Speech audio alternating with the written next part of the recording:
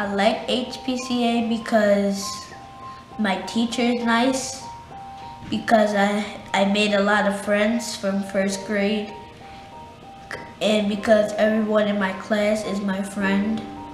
And I like HPCA because because the te my teacher is nice, and I like HPCA because of chapel, because at chapel we, we sing and learn more about God, and I like chap I like HPCA because it's a Christian school, and I like Christian schools because so that when so that when I get out of this school and I go to another school that's not a Christian school, I can tell people I can tell people about God and tell them the things that I learned at HPCA.